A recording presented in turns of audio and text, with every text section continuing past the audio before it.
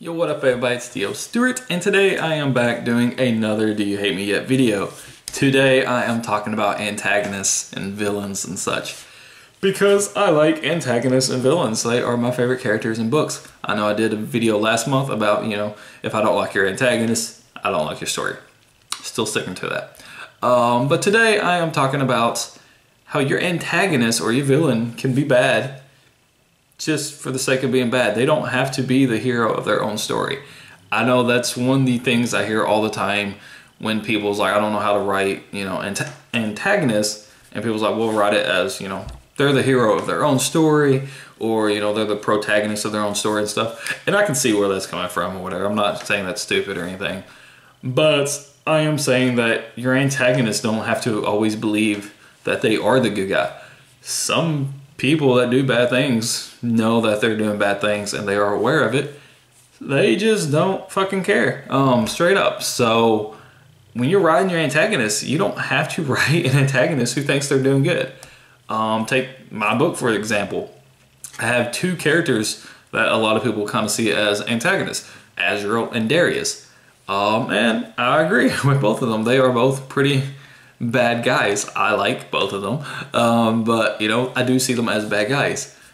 Darius, I do see as being a hero in his own mind. He does think he's doing the right thing. He thinks he's correcting the wrong. He thinks he's doing this and that. He's protecting people and he's trying to, you know, rule the land, you know, as it should be and not, you know, segregate between different races. He thinks the elves are racist against everybody else because the elves always think that they are the smartest and should be in power. So he is kind of racist towards the elves, but he doesn't really say only demons can be empowered just because he's a demon or anything like that. So he does have morally good direction um, with his ruling and stuff. He can be kind-hearted. If you're not pissing him off, he can get along with you just fine. You know, he is kind of close with some of his family members. You know, he does have a lover. He's expecting a daughter and all this. So you see all these good qualities in him. But, you know, just the situation, he is a bad character in a sense because he is very controlling. He wants things done his way. Azrael, on the other hand, he is a sly, two-faced, you know, manipulating motherfucker. And he he likes playing both sides and he likes getting his way that way but I don't think he would ever think that he was actually doing good. He, he thinks, you know, whatever he does is helping him, but as like a kingdom as a whole, no, he doesn't really care. Um, he is the only one that doesn't have, you know, oh, well, I'm doing this because of this. No, he's doing that because, you know, it's going to help him. He doesn't care about anybody else.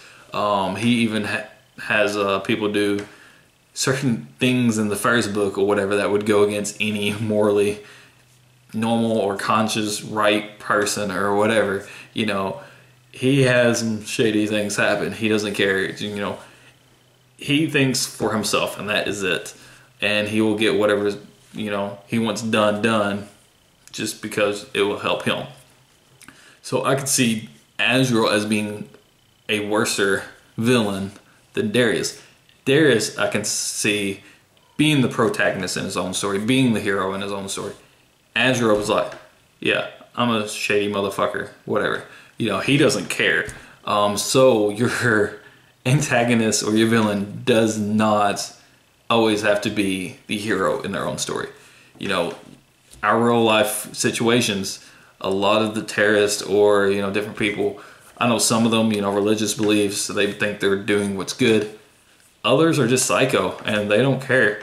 Um, yeah, it's mental illnesses or whatever else, but they don't care. You know, they're like, yeah, I'm crazy, whatever, I'm killing you, type ordeal. That's same way as your villains. Not always do they have to be the good guy. I do think that they should have an interesting story. Um, I don't think you should just make them one dimensional, you know, give them a motivation to do the bad stuff. You know, it doesn't have to be a good motivation or whatever. Like I said, Azrael's just just because it helps him. You know, that's it. So it doesn't have to be good or anything. It's just as long as there is a motivation and it makes things interesting and they are interesting character. But they don't always have to be, you know, the good guy to them. You know, some villains and antagonists are bad just for bad sake. Do you hate me yet?